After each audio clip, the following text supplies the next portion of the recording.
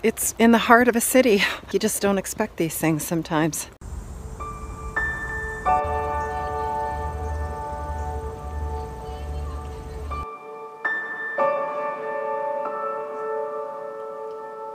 So the lady at the front gate told me this should only take a couple hours to walk.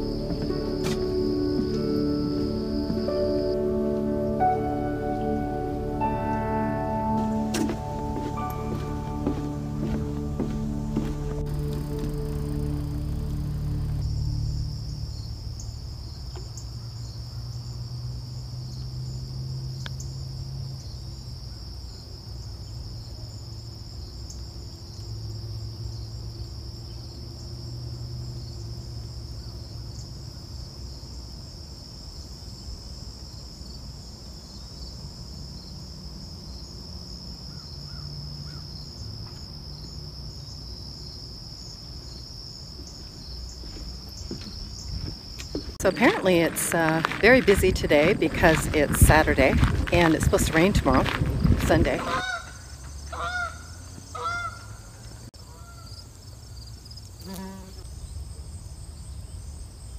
So a lot of people are out here. I just stopped and chatted with a couple locals. They said through the weekday is nice and quiet. Weekends are very busy.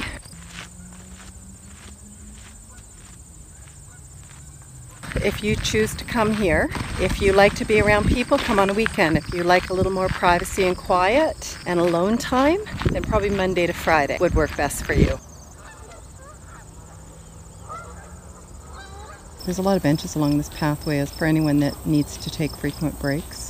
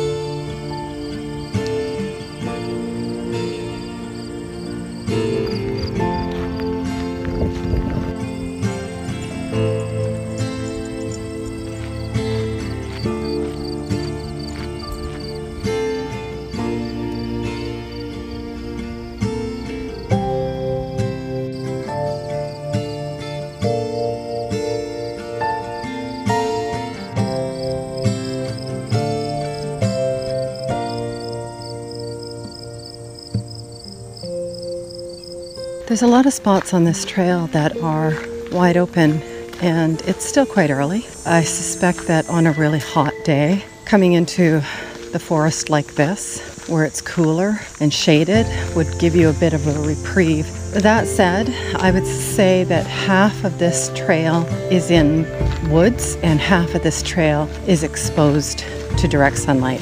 And for the most part, the trail is all natural whether it's the wooden boardwalk, it's this hard packed sand and gravel, or it's all natural with broken down wood chips.